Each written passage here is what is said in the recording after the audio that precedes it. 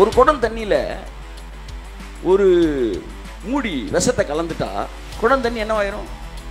விஷமாயிரும். ஆனால் கடலில் போய் குடங்குடமாக நீங்கள் விஷத்தை ஊற்றினாலும் அம்புட்டு உள்ள வாங்கிட்டு அந்த இடத்துல தான் உங்களை என்னை தேவன் வைத்திருக்கிறார்.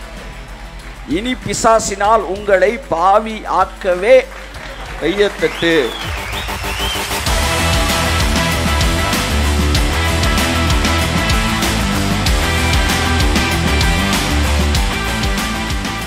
அன்புக்குரியவர்களே ராஜாவாய் நான் இரு நினைக்கும் போது ராஜாவுக்குரிய மனநிலையும் செயல்களும் எனக்குள் வருகிறது.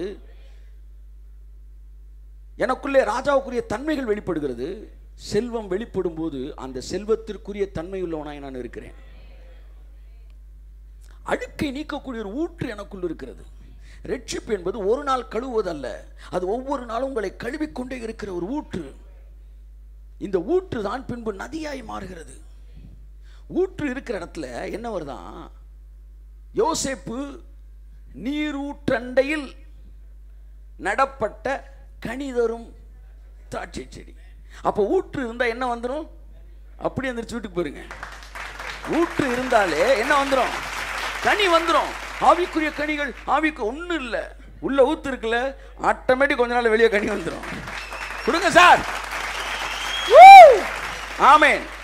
வாசிக்க இந்த வசனம். யோசேப்பு.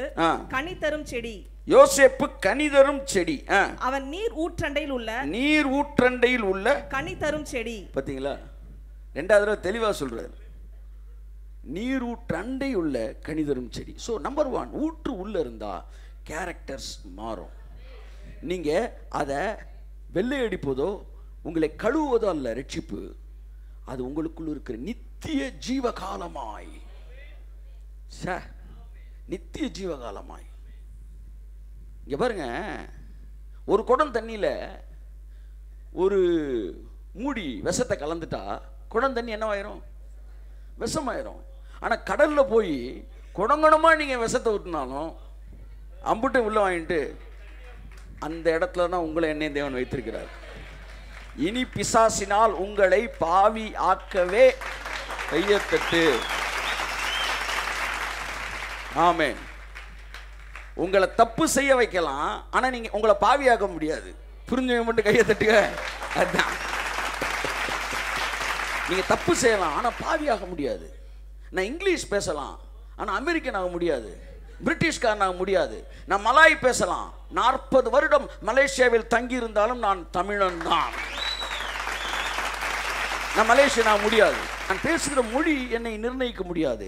என் ஜீன் ஒன்று இருக்குது என்னுடைய ரத்தம்னு ஒன்று இருக்குது என்னுடைய வாட்ஸ் தட் என்னுடைய ஜீவ அணுன்னு ஒன்று இருக்குது என்னுடைய அந்த ஜெனட்டிக்னு ஒன்று இருக்குது அது வந்து நான் தமிழன் தான். அப்படித்தான் கிறிஸ்துவுக்குள்ள ரட்சிக்கப்பட்ட நீங்கள் பரிசுத்தவான் தான். நீங்கள் பாவியாக முடியாது.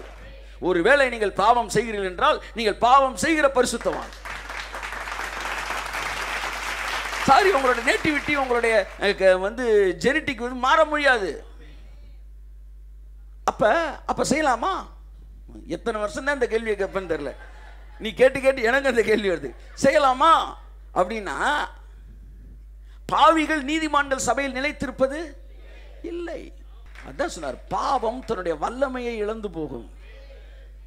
You can be a slave so ஒன்று ஊற்று என்ன செய்யலாம் அழுக்க கழுவிக்கிட்டே இருக்கு.